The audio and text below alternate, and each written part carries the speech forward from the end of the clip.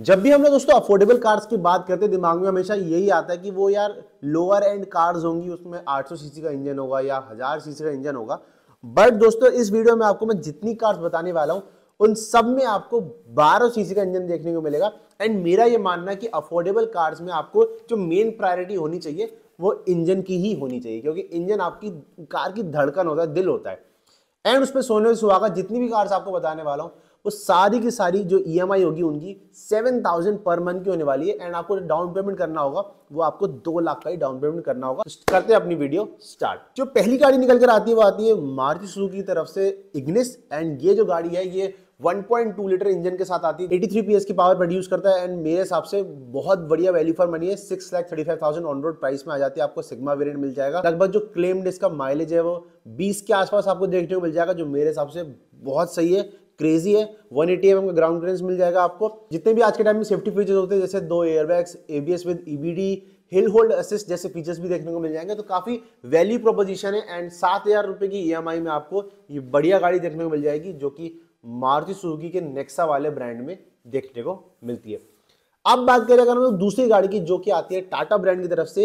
And इस particular गाड़ी ने जो टाटा का पूरा जो कार का जो पूरा मार्केट है, उसको दोबारा से रीडिफाइन कर रहा एंड ये गाड़ी दोस्तों निकल कर आती है टाटा टियागो एक्सी इसकी जो ऑन रोड प्राइस पड़ती है, वो छह लाख दस हज़ार पड़ती है, जो मैं समझता हूँ ई जो है, इसकी सात हज़ार से भी कम हो जाएगी। एंड सात हज़ार रुपए से कम ईएमआई में आपको एक फाइव स्टार रेटेड गाड़ी मिलती है। 1.2 लीटर का इसमें आपको भले ही थ्री सिलेंडर इंजन मिलता है बट आपको पावर जो है, वो लगभग 90 पीएस के आसपास देखने को मिल जाती है, जो मेरे हिसाब से बहुत बढ़िया है। साथ ही साथ आपको 170 सेवेंटी mm की ग्राउंड क्लियरेंस मिलती है, जो इस छोटी गाड़ी के हिसाब से काफ़ी अच्छा है। बहुत लोअर आपका टर्निंग रेडियस है तो कुल मिला के आपको सिटी में गाड़ी चलाने में बहुत मज़ा आएगा। एंड पाँच दस हज़ार का आपको ऊपर से खर्चा करना पड़ेगा इसमें स्टीरियो वगैरह लगाने में। तो मुझे लगता है काफ़ी अच्छा वैल्यू प्रोपोजिशन है। इसी गाड़ी की बात करते हैं तो ये उन लोगों के लिए आती है खासतौर पर जिनको थोड़ा सा अपनी गाड़ी में जो है फिट फिनिश बेटर चाहिए थोड़ा सा एलिगेंट गाड़ी चाहिए एंड थोड़ी सी अर्बन फील चाहिए। ये आती गाड़ी दोस्तों ह्यूंडाई की तरफ़ से। Hyundai grand i ten Nios और इसका जो मॉडल आता है वो आता है एरा छह लाख पैंतीस हज़ार रुपए की ऑन रोड प्राइस में आपको देखने को मिल जाएगी, जिसमें आपको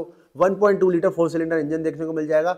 काफ़ी बढ़िया है। एंड सबसे खास बात अब ह्यूंडाई में आपको स्टैंडर्ड सिक्स एयरबैग्स देखने को मिल जाएँगे अक्रॉस ऑल वेरिएंट्स तो ये बहुत अच्छा चीज़, बहुत अच्छा मूव है ह्यूंडाई की तरफ़ से। एंड मैं इसको बहुत ज़्यादा अप्रिशिएट करता हूँ। बाकी अगर आप कुछ एडिशनल फीचर्स की बात करें तो इसमें भी आपको एवीएस विद एबीडी देखने को मिल जाएगा। सीट बेल्ट रिमाइंडर मिल जाएगा। रिवर्स पार्किंग सेंसर्स देखने को मिल जाएँगे, जो ओवरऑल गाड़ी की फिट फिनिश को बहुत ज़्यादा इंप्रूव करता है। एंड साथ ही साथ आपको कन्वीनियंट फीचर्स भी प्रोवाइड करता है।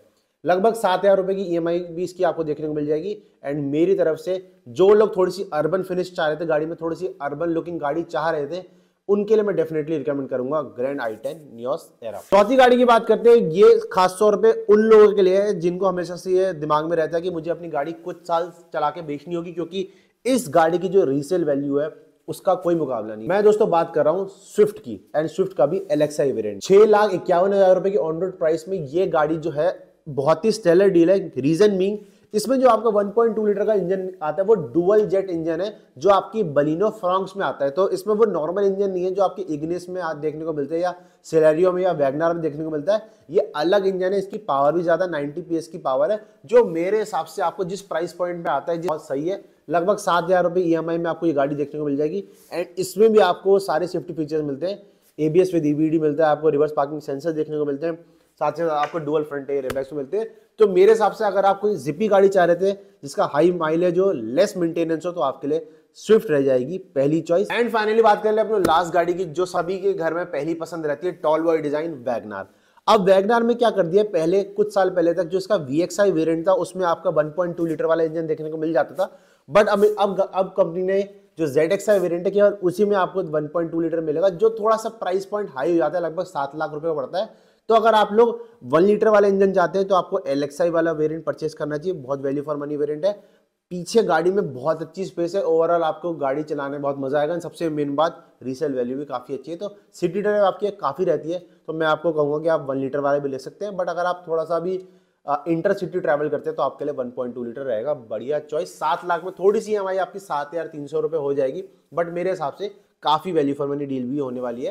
अगर आप वैगनार जेड एक्स परचेस करते हैं। वीडियो कैसी लगी आपको? डेफिनेटली कमेंट सेक्शन में बता सकते हैं। एंड ऐसी वीडियोज़ के लिए आप लोग सब्सक्राइब कर सकते हैं ऑल अबाउट कार्स चैनल को।